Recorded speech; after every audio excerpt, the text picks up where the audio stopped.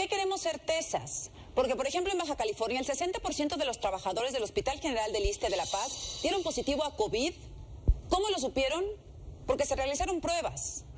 Porque en la Fiscalía General del Estado de Chihuahua se reportó también un contagio masivo entre los trabajadores con más de 200 casos positivos detectados. ¿Cómo los detectaron? Con pruebas. ¿Por qué se necesitan pruebas? Porque el 14% de los trabajadores de la Cámara de Senadores tiene COVID.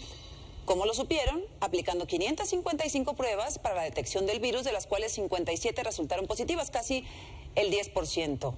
¿Por qué? Porque la Comisión Federal de Electricidad informó que entre sus filas ya hay más de 2.188 trabajadores contagiados de coronavirus. Una razón más, porque por ejemplo el gobernador de Durango, José Rosa Saiz Puro, ha confirmado esta noche que es positivo a COVID. ¿Cómo lo confirmó? A través de una prueba. Quiero compartirles, dijo el gobernador, que hace unos minutos me confirmaron que di positivo a COVID. A partir de este momento cumpliré las recomendaciones, me aislaré en casa, seguiré trabajando de manera permanente. Gracias por su apoyo. Eh, él se ha contagiado, eh, es el quinto gobernador que se ha contagiado en esta ola.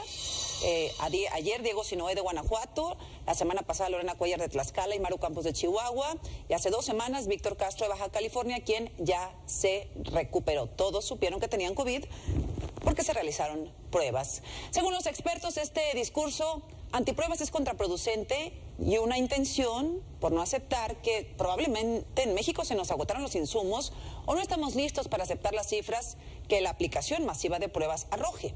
Hoy me dijo esto la doctora Laurian Jiménez Fibi.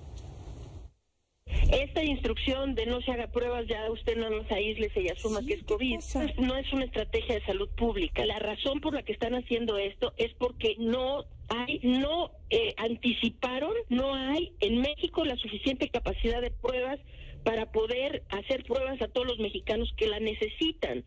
Con esto también va a pasar algo muy extraño, que es en cuanto topemos la capacidad de pruebas, nuestra curva de contagios va a dejar de crecer, pero va a dejar de crecer artificialmente.